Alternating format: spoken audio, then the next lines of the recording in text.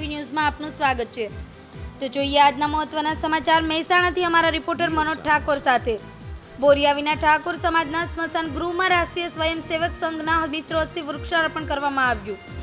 વૃક્ષો વાવો અને વરસાદ લાવવો આ એક સૂત્ર છે, પણ ખરેખર આ સૂત્રને સાર્થક કરવા માટે વૃક્ષારોપણ કરવું જરૂરી છે.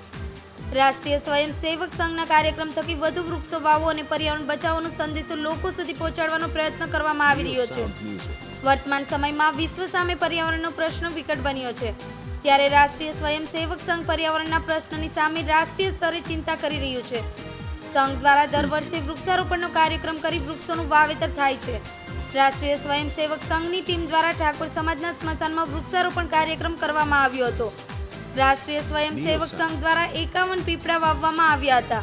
જેમાં ડોક્ટર કેતન પટેલ, નરેશભાઈ ચૌધરી, વિષ્ણુભાઈ ચૌધરી, પ્રકાશભાઈ ચૌધરી ઘનશ્યામજી ઠાકોર, પારસંગભાઈ ચૌધરી, ગોવિંદભાઈ ચૌધરી, પ્રેમજીભાઈ ઠાકોર અને નાના બાળકોએ હાજરી આપી હતી. Bureau report HBN TV news Ramesh સત્યની સાથે.